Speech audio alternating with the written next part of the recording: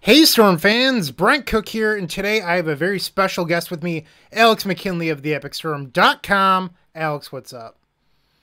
Not much. I am excited to review this card today. What's this card?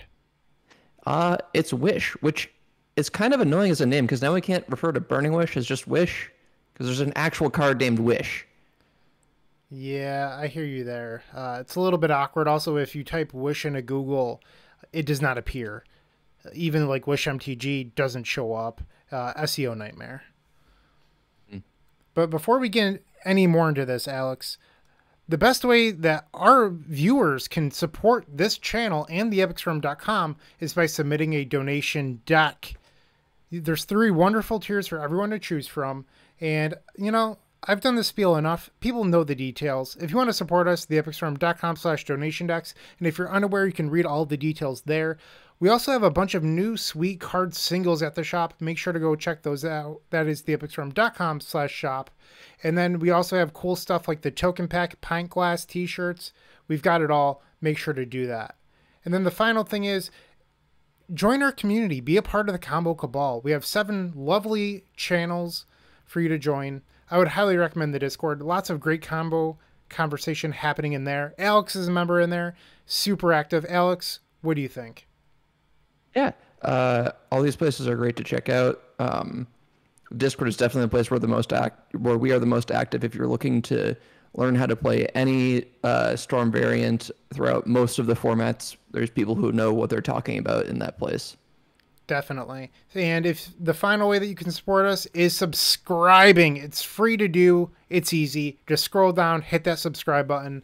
And if you're already subscribed, make sure to like and comment. What do you think of Wish? Tell us in the comment section down below. And if you want to take it a step further, you can join us. Right next to that subscribe button, there's a join button. You can become a member, unlock sweet badges and emotes. We're a couple people away from unlocking a few more. So if you want to support us, help us unlock those emotes. It would be greatly appreciated. But Alex, that's enough shilling. I want to get back to Wish. So it is in this brand new set, Dungeons and Dragons Adventures in the Forgotten Realms. Alex, what sets or what formats is this set legal in? So this is a standard release and is intended to replace the core set this year. Uh, so this means that this is legal everywhere. Uh, and for Wish specifically, uh, ever except for Pauper, it's it's a rare. Uh, they don't put this type of effect into Pauper, which I think uh, Pauper fans are a little bit grateful for. I think that's ridiculous. And here it is Wish! It is a two in a red for a sorcery. You may play a card you own from outside the game this turn. Alex, this is worded kind of weirdly. Why is that? Yeah, so the the easiest comparison is most of the other wishes say you may reveal a card uh, that you own from outside the game and then put it into your hand. Uh, this has a lot of fundamental differences. Um, so the biggest one is that upon resolution of wish, you don't actually have to choose uh, which card you're going to get. You can cast the wish, and then your entire sideboard in competitive play will be available to you until you cast one of those cards. Um, this is this changes a lot of things because you can cast other spells after you resolve wish that would j- change uh, what you want to get. Uh, and the limitation here is, is that you only get to play it uh, until the end of the turn. So you don't get to cast wish get a card from your sideboard and pass. That's not something you can do. Alex do you have to select the card immediately or can you choose later on? Choose later on. Wow that's pretty powerful. Definitely different from everything else. So the most you know, common comparison to Wish would be a card that we're in love with. It's near and dear to my heart, at least. Burning Wish. Alex, how is this different from Burning Wish? Yeah, so like I was saying, uh, Burning Wish exiles itself. That's that's a key part that we'll discuss later on. Um, Burning Wish lets you cast it and then pass the turn. Burning Wish is also two mana, and that mana makes a big difference, especially in the contexts in which we're playing both of these cards uh, and ad nauseam. Putting four three drops into your deck uh, compared to four two drops is completely different um, in terms of the average mana cost and how much damage you're expected to take off of an ad nauseam. That is true. That said, a lot of people are comparing these cards directly. Alex, is there anything stopping you from playing both? No, not really. Okay. And I would honestly expect to see both and maybe in some sort of Ruby Storm shell where they want that threat density that we already have from Wishclaw Talisman. So we're not only thinking about these cards in the context of the Epic Storm, we're thinking across formats and even different decks in these formats. So we're trying to cover a little bit of everything today. And I think Burning Wish is the closest comparison. I had people message me instantly when this card was spoiled asking if I'm cutting Burning Wish. Alex, the answer is a simple no. Why would I ever cut Burning Wish? yeah, Burning Wish is a whole mana cheaper, uh, and most of the cards when I to get from our sideboard are sorceries anyway. Uh, despite you know some of them, maybe maybe our best card is an instant. I don't know why we ever want to fetch that from our sideboard, but yeah. All right. So one of the things that Alex was alluding to was that the card doesn't go to your hand. This plays very, very, very well with Lion's Eye Diamond. You can actually use Lion's Eye Diamond as Black Lotus. That's pretty sweet. Yeah. Uh, you get you get all the it's it's just like casting the cards off of a Galvanic Relay or a Jessica's Will or any or like for, for, with Flashback. All of those things super easy to cast with Lion's Eye Diamond. Uh, just don't put Lion's Eye Diamonds in your sideboard to fetch with Wish. Uh, Lion's Eye Diamond is so often your best card, and you're better off just drawing it. Yeah, that's a question I expect to be answering a lot. Unfortunately, please do. If it is a core card in your deck, don't put one in the board. I understand that you'll have access to seven if you put one in the board. The problem is that Wish costs so much mana that you can't really count it as an additional copy because how often are you going to have three disposable mana plus some extra in order to cast these crucial cards? Lion's Eye Diamond is obviously free, so that's not the case here. But if you're paying three mana to get a Lion's Eye Diamond, you're probably not in the greatest of situations. Yeah, it's a, it's a huge tempo thing. You lose so much tempo by paying three mana for a tutor. Tutors in general are very uh, tempo negative. It's just that they're very good when you can just win the game with them. 2000 and wishing for Lion's Eye Diamond, not very good. 2006 Bryant Cook would have been very happy to cut his trinket mages for Wish. I'm just throwing that out there. Mm. All right. So, Alex, you talked about how the cards aren't put to your hand. This is actually a drawback with Echo of Eons because Echo of Eons has that flashback ability that plays so well with Lion's Eye Diamond. And if you select Echo of Eons and then add three blue with your diamond, you're not going to be a happy camper. I mean, if you also have at least three other mana, then you just cast the front half. That is that works. That's technically true. uh, not super likely though. Not likely at all, in my opinion. Uh, so this is one downside to Wish, other than the fact that it costs an additional mana. So we're not trying to at least a burning wish. We're not trying to say that wish is a, an unplayable card. I think this is actually going to see a little bit of legacy play. We're trying to show you the differences in the pros and cons of burn of burning wish and wish. Yeah, and I think that we haven't talked about this enough, but you have to play the card that the turn you cast wish. So much of the theory of TES right now is you cast one of these tutor effects and then you pass the turn and build up mana turn over turn by investing and developing.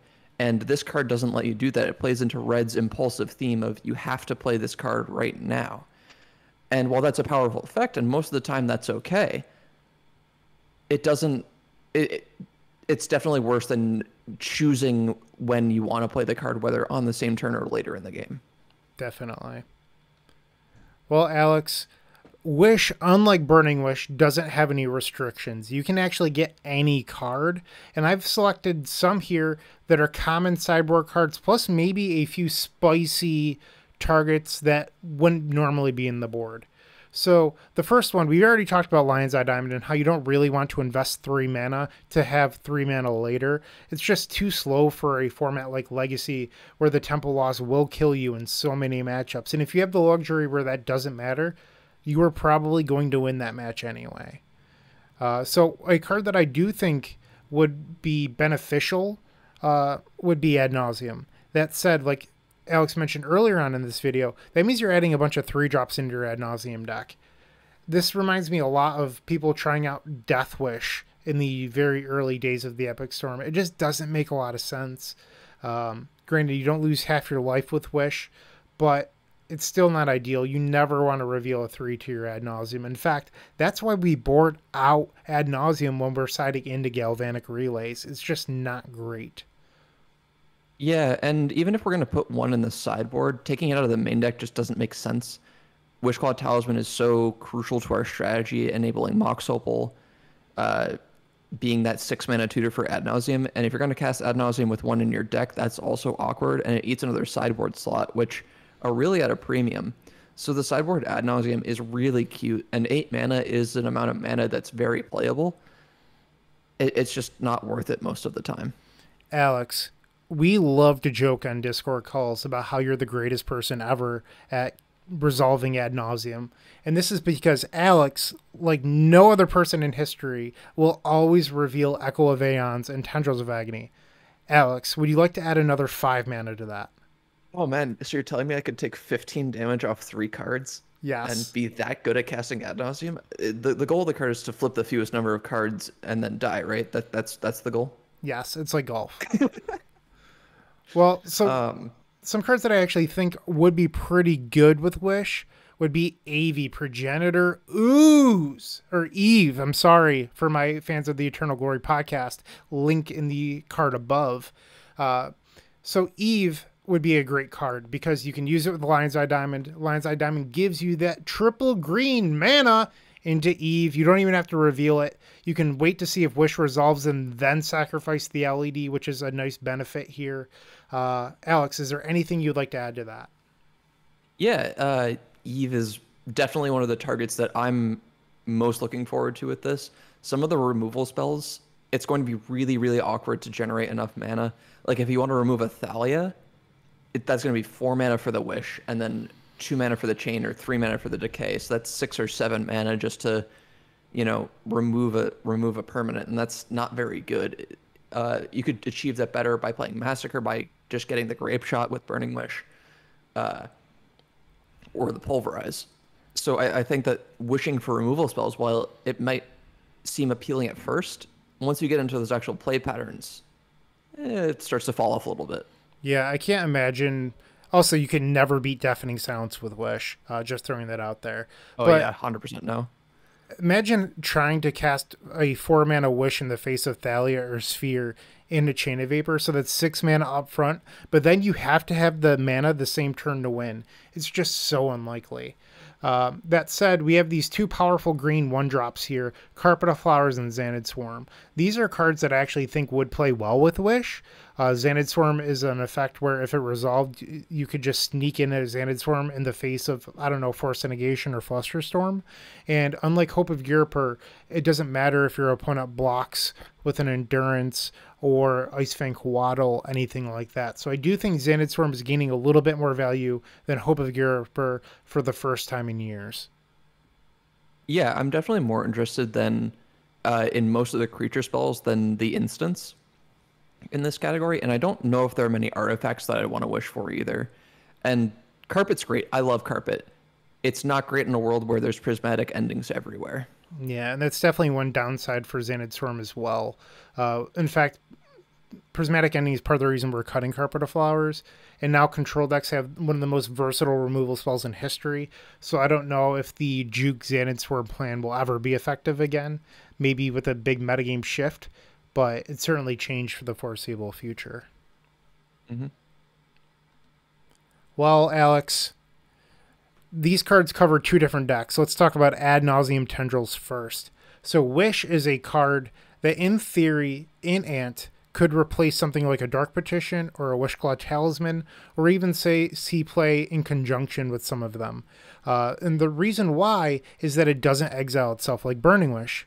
That said, it does cost an additional one mana. So, in my opinion, the beauty behind Wish is that it allows you to beat Veil of Summer as Ad Nauseam Tendrils. You would just need an initial red mana up front, and then from there, you can sacrifice your Lion's Eye Diamond, go get Past in Flames, and then you still have two red post Past in Flames to play with. You replay all your dark rituals, your cabal rituals, those sort of things. Cast that Past in Flames, cast your wish again. I'm sorry, you've already cast Past in Flames. Uh, cast wish again, and then get grape shot, grape shot through the Veil of Summer win. And this is a not super difficult line to pull off, in my opinion. Uh, it's already plays into Ant's uh, biggest strength, which is Past in Flames. Recently, in order for, for them to those decks to beat Veil of Summer, they had to be a bad version of the Epic Storm, resolving a card that they're not actually good with, which is Ad Nauseam. I didn't name the deck, forgive me, but they're a bad Ad nauseam deck. So putting them in that spot is actually really good uh, for the person holding Veil of Summer, especially if they're like a rug delver. That's not the case anymore. I'm gonna disagree with you a little bit on how easy that line is to pull off. Uh, that's a that's a very expensive line.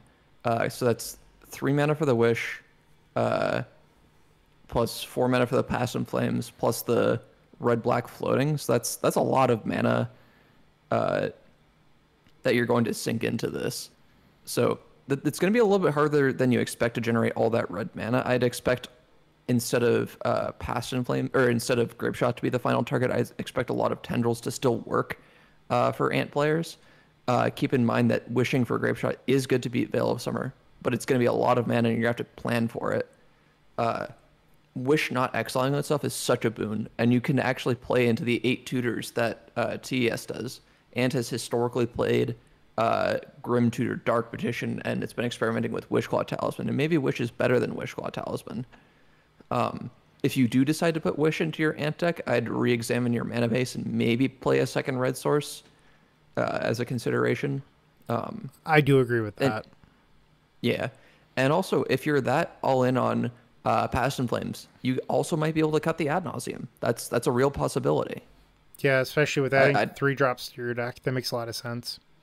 Yeah, it, maybe not not great in an, in, in an endurance world, but definitely I think this card has more potential in a shell like Ant than it does in TES for Legacy. Well, if we're already cutting ad nauseam, maybe Ant players. I mean, I'm going down the rabbit hole here. Sorry, listeners, but maybe they could revisit main deck Peer into the Abyss instead of ad nauseam.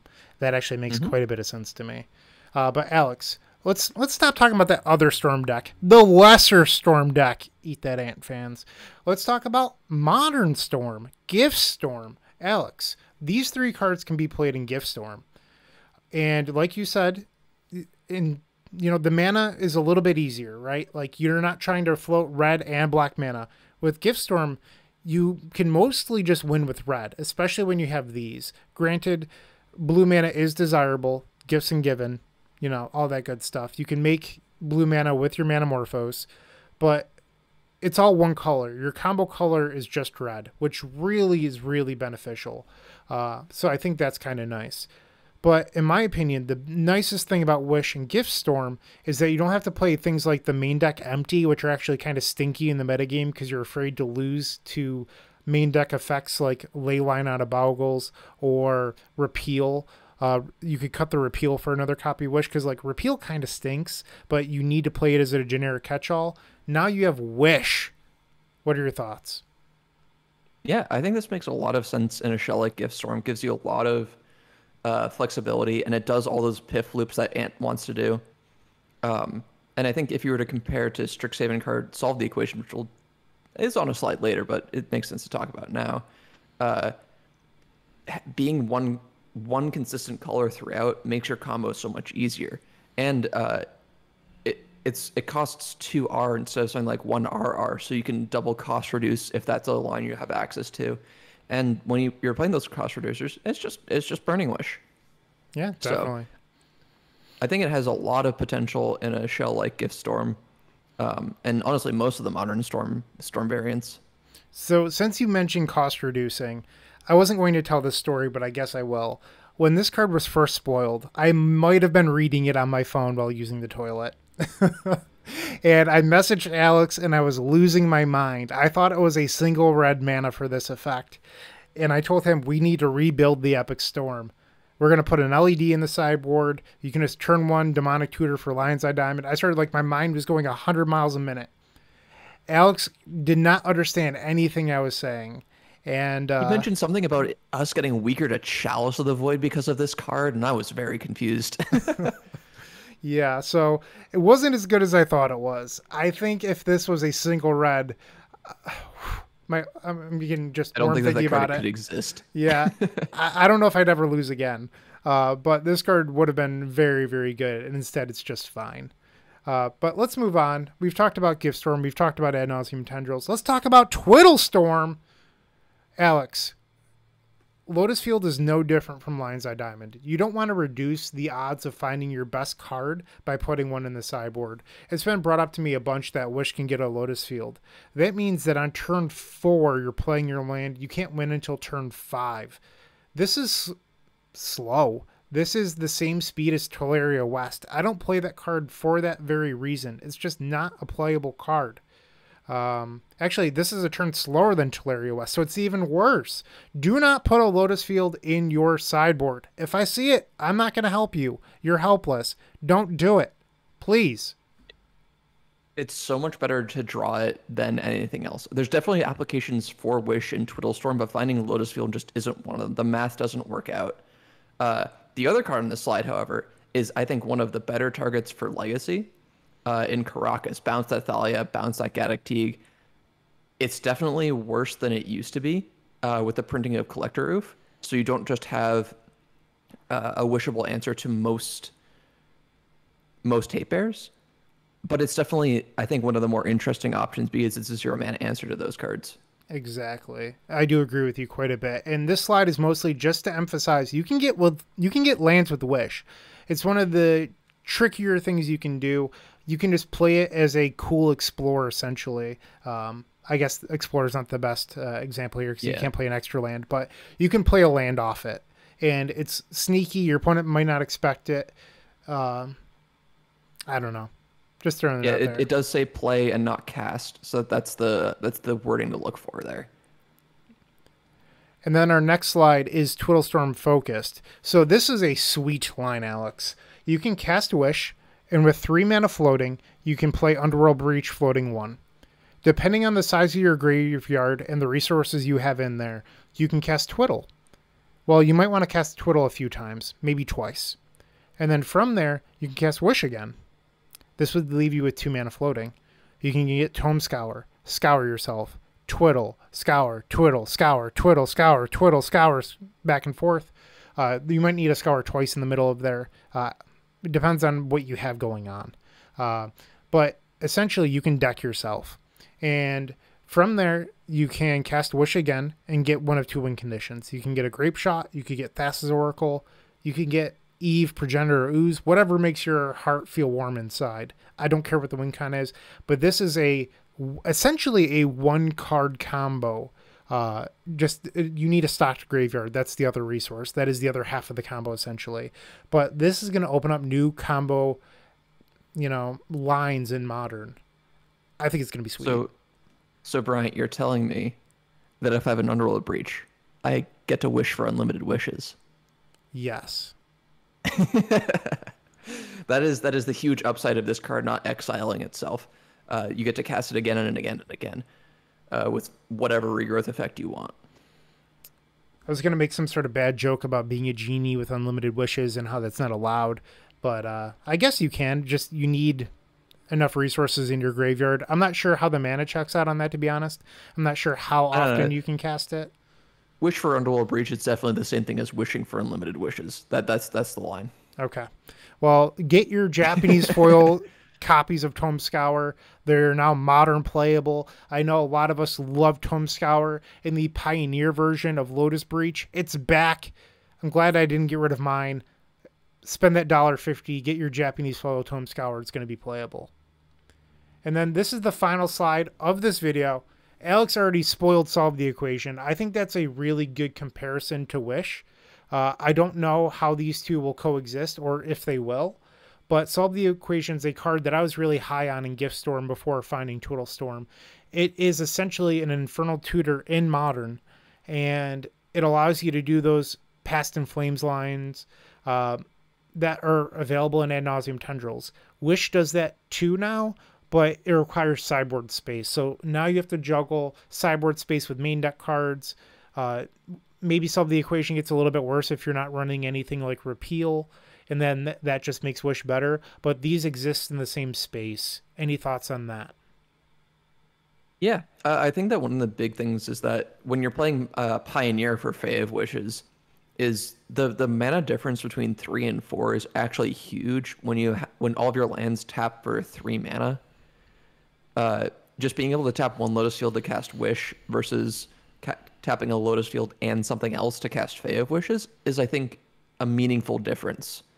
Uh, Wish doesn't cycle uh, forever the way Fae Wishes does, so that might be relevant for the deck. But I think that mana cutoff point might be meaningful. Definitely. So, in my opinion, I am more likely to cut the Mastermind's acquisition than Fae Wishes. I think you probably still need some sort of split, if I'm being honest, uh, because you do need to be able to beat Slaughter Games type effects. I'm not sure if you keep Fae of Wishes or if you keep Mastermind's acquisition. I haven't figured that out yet. Fae of Wishes is easier to cast. Uh, you can also, uh, what is it called? Oh, why am I blanking on this? With hidden strings, Cipher. cipher onto it with hidden strings. That's a mode you can do. Um, you can surprise block a Notion Thief with Vizier. There's like a bunch of cool tricks you can do with of Wishes, so I think that gives it the upside over Mastermind's acquisition, at least in my opinion. But Pioneer is a format that I am actually really excited about wishing. And if anything, I'm not, don't crucify me over this. I think Pioneer might be slow enough where you could put a Lotus in your board, but I'm still not even sold on that. I think it's still probably better in the main deck. Mm-hmm. Well, well, Pioneer is Pioneer. I, I think that showing all these cards, these are you know some of the newest tutors and newest wishes effect that they printed, and I think it shows how pushed Wish is compared to those cards. It's cheaper, it's more flexible. Uh, the play on your turn, the play this turn restriction is meaningful. Uh, it means you can't get things like counter spells as well, but you can slip a Pact of Negation in your sideboard, cast Wish, let the combo turn continue, and you will have access to that Pact of Negation the whole time. Uh, or it can just become your win condition. Uh, the card is flexible. Um, you're going to get a lot of opponents that don't quite understand how this works uh, the first couple of times. It's a wacky card. Definitely. Alex, any closing remarks on Wish? I'm excited to play with it. I think this is the type of card that you have to play with to realize how good it is. I am very. I, I would rate this card like a seven out of ten. It, it's it's good. It's not format breaking. It's not format defining, but you're you're gonna see it. I agree with that. I can't wait to play it. More likely in modern than any other format for me personally. Maybe I'll play mm-hmm. some Ruby Storm with it, but more combo options is always a great thing in my eyes. All right. So I hope that you all enjoyed this video. If you did, please subscribe. I know I mentioned it in the beginning, but do it again here. Subscribe, become a member, all that good stuff. Alex, thank you for joining me. I know that you had already talked quite a bit about Wish with other people, and I appreciate you doing it with me. Everyone, take care. Cheers. Have a great day. Keep storming.